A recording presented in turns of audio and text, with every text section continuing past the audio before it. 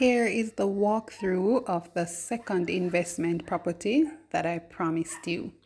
So don't mind the cement guys, don't mind the plyboard, they will soon come out, but just giving you an idea of how the place looks now. So this is the master bedroom. We recently installed the air conditioning units and as you know, we cleaned it for Labor Day.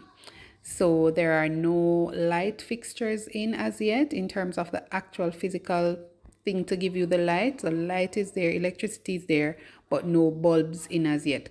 And we'll be renting this place unfurnished. So this is what the first, the master bathroom looks like. So the first bathroom that I'm showing you. So it's a two bedroom, two bathroom. So I just showed you the master bedroom and we're now coming out of and the master bathroom and we're coming out of the master bedroom going to the second bedroom. From to the second bathroom that is. The second bathroom also doubles as a guest bathroom pretty similar nothing different. Everything is really the same. Um, so this is the guest slash second bedroom there's also a door that leads to the bedroom um, from that bathroom.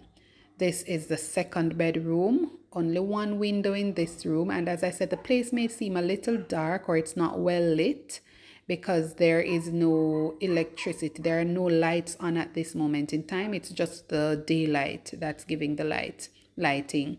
This is the kitchen area, so that is where the fridge, the refrigerator would go. This is the washroom area, so a washing machine or a washer and dryer would go there. I guess it would have to be the tall one because it can't hold both things as separate units.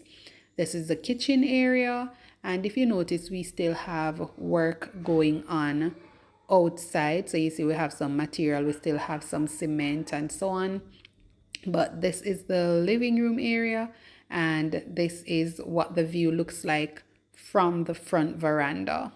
So I'm also going to give you a walk around the house just to give you a total look of how the property is now.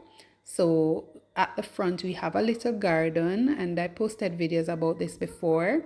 Then to the right side of the property you have the little walkway here and um, the lawn to the side. The lawn hasn't come in fully as yet. It was just planted like last week. So the backyard is very spacious. We can actually build around there or do something else around there.